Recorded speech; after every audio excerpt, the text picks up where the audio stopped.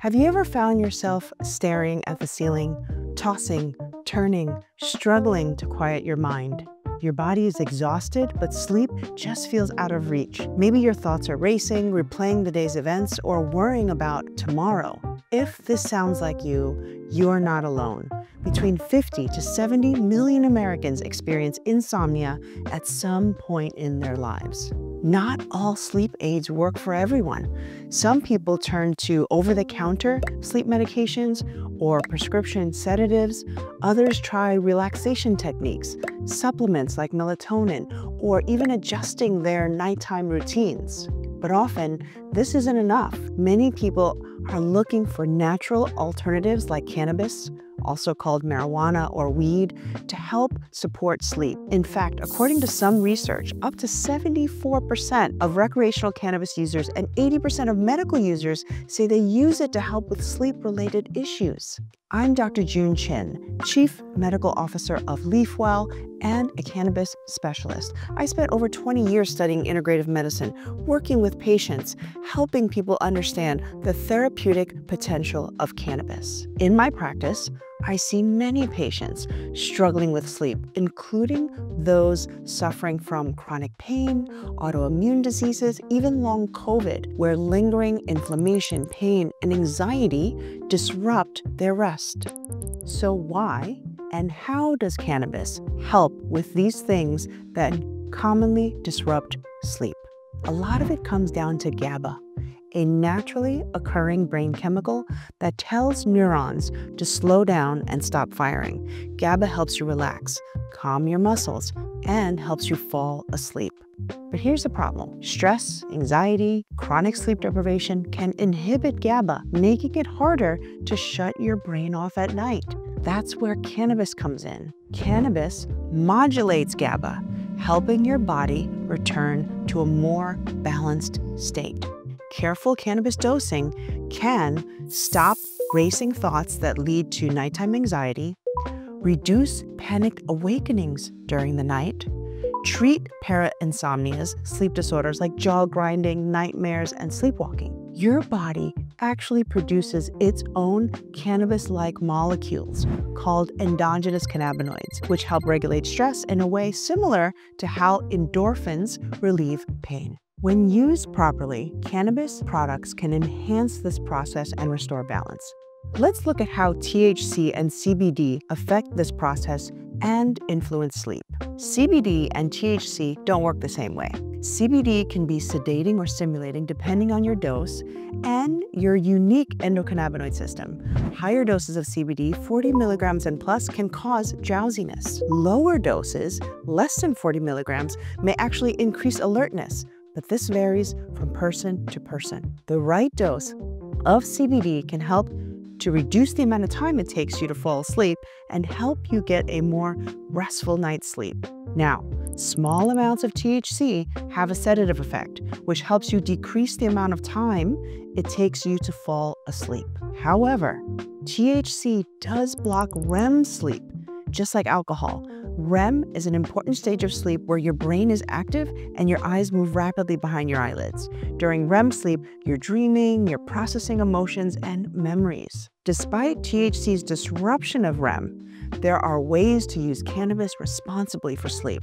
Combining both THC and CBD in the right dosage and ratio can be very useful in helping chronic sleep issues in my clinical experience. Now let's talk about CBN, another cannabinoid with strong sedative effects. CBN forms when THC degrades over time, due to light and air exposure. That's why older cannabis flower often has more CBN. CBN is more sedating than CBD and can enhance relaxation. It also has anti-inflammatory and anti-seizure properties.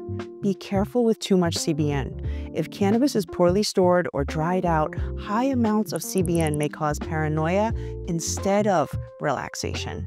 Now that we've covered cannabinoids, what about the strains of cannabis? You might have heard that you need an indica strain to sleep, but maybe you've tried one and felt wired all night. That's because indica versus sativa isn't the best way to predict effects. Instead, when you're choosing a cannabis strain or product, Look at the terpenes. Terpenes are the natural compounds that give cannabis its smell, and it influences how it affects your body. For better sleep, look for strains that are high in linalool, found in lavender, promotes relaxation, myrcene, which has sedative effects, also found in hops. You want to avoid stimulating terpenes like pinene. As the name suggests, it gives pine trees their distinctive smell. Pinene can make you more alert. Limonene is citrusy and uplifting, great for energy, but not for sleep. If you're in a legal state, check lab tests or ask your dispensary to help you find the right strain with terpenes that help support a restful sleep. A lot of my patients want to know if cannabis is safe for sleep and if it's better than other prescription sleep aids. Some researchers say that marijuana is no better than sleeping pills, that it doesn't provide a good night's sleep and fully robs the body of REM sleep. But here's the thing prescription sleep aids aren't much better. Medications like Ambien, Lunesta, and others don't actually deliver a restorative sleep. They replace our natural sleep cycles and our dreams. So, what you get instead is counterfeit sleep. Studies show that these drugs only increase natural sleep about eight minutes. What they really do is create sleep amnesia so that you've actually forgot that you had a poor night's sleep. Drugs like Xanax, Klonopin, Valium are often prescribed for insomnia, but they're only meant for short term use, just two to four weeks max. So if you take them longer than that, they can be as addictive as opioids. And getting off them, they could take up to a year to wean off Xanax and Ambien because of the severe withdrawal symptoms and emotional dependence. Cannabis does not carry the same risks, but like any medication, there are things that you can do to make sure you're using it safely and effectively for better rest. If you can't fall asleep because of a racing mind, you may want to try a combination of CBD and THC before bedtime. So if you're using flower, for example, start with a match head size dose. If you're using a vaporizer pen, just take one to two puffs of CBD or a one to one CBD THC oil. If you prefer tinctures, you want to try between 20 to 25 milligrams of a 20 to 1 CBD THC ratio or a 1 to 1 CBD THC ratio. THC has a sedative effect as it wears off, so you may want to time your dose about 60 to 90 minutes before bed. That should keep you asleep for about four to six hours. Low light also enhances CBD's calming effects, so make sure to keep your room dark. Let's say you don't have trouble falling asleep, but you wake up in the middle of the night and you can't drift back off to sleep. This might mean your cannabis dose is wearing off too quickly. In this case, capsules or edibles are your best bet because they take longer to kick in, but also they last longer. You might want to try adding one milligrams of THC to a CBD capsule three to four hours before bed. So this can actually help keep you asleep longer. If that's not enough, increase the dose slowly by one to two milligrams every few nights until you find what works best. Just be careful not to take too much THC.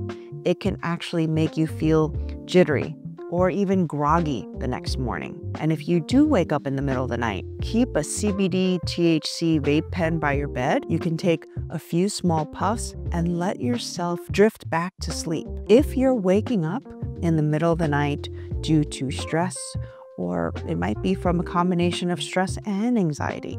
This is a stress response, and cannabinoids can help calm the nervous system. Try taking 10 to 40 milligrams of CBD before bed. For some, a combination of CBD with 1 to 3 milligrams of THC works even better. Over time, you might notice that your usual dose isn't as effective. That's because you can build a tolerance to cannabinoids if you use them regularly. This means spending more money and perhaps getting diminishing results. But here's the good news you can reset your tolerance. If you find yourself needing higher and higher doses just to fall asleep, take a break, just four to five days. This allows your receptors to reset naturally during your break from your cannabis, if you still need some natural sleep support, try melatonin, valerian root, magnesium taurate. If you do notice changes in your tolerance, it's actually related to THC, not CBD. You don't build a tolerance to CBD in the same way as THC, so even if you're taking a break from cannabis products containing THC, you could still use CBD only products. CBD can improve sleep quality by helping you fall asleep faster, decreasing inflammation in your body, calming your nervous system. It's important to remember that cannabis should only be part of a good sleep routine. If you're using cannabis, you should also make sure to support your sleep in other ways. Start winding down 90 minutes before bed. Your body needs time to shift from go mode to sleep mode. Turn off screens. Blue light blocks melatonin, your sleep hormone. Put your phone on silent or dock it outside your bedroom. Turn your clock away so you're not obsessing about sleep. Let your body know it's time to rest. Now be mindful of what you eat and drink. Caffeine, alcohol, meal timing all affect sleep quality. Stop caffeine intake at least eight hours before bedtime. This would mean having your last coffee or tea by 2 p.m. if you plan to be asleep by 10. Even if you don't feel wired, it can still disrupt sleep. Limit alcohol to one to two drinks max. Too much leads to worse sleep. And avoid late night eating. That can better support your circadian rhythm, your body's natural sleep wake cycle. So if you're snacking at midnight, your body is digesting when it should be resting. Try a weighted blanket. Deep pressure stimulation reduces stress hormones and boosts serotonin, your feel good hormone. Research shows that weighted blankets lower cortisol levels and can make sleep deeper and more restorative. If you struggle with anxiety or restless sleep, this might be a game changer. Get early morning sunlight. Light exposure regulates your sleep wake cycle. So you want to aim for 30 minutes of sunlight within the two hours of waking up. Exposure to morning light boosts melatonin production later at night. Check your medications and health conditions. Sleep issues might not be your fault. They could be caused by medications or underlying conditions. Check your prescriptions for caffeine or sleep disturbing side effects. If something feels off, speak with your health provider. They can check for hormone imbalances, thyroid issues, blood sugar problems. The best sleep fix might be adjusting something outside of your bedroom routine. All in all, if you're using cannabis for sleep, here are the main points to remember. CBD's effects depend on the dose. Higher doses tend to be sedating, while lower doses might increase alertness. CBN can boost relaxation and complement CBD. THC can help you get to sleep, but it disrupts REM sleep. So it's best to use it in low doses alongside CBD and CBN as needed, and to take breaks from consecutive use. Terpenes in cannabis are a lot more important than labels like indica versus sativa. So make sure that you look for products rich in linalool and myrcene. Finding what works may take some trial and error, but with cannabis and with the right approach, it can be a powerful tool for better sleep. As always, speak to your healthcare team before making any changes to your prescription medications. If you're curious about how cannabis might help with sleep and your health overall, head over to leafwell.com and explore our science backed content library to learn more. And don't forget to like, comment, subscribe, and let us know if there is another topic that you want us to explore in the future. I'm wishing you the best in health and better sleep.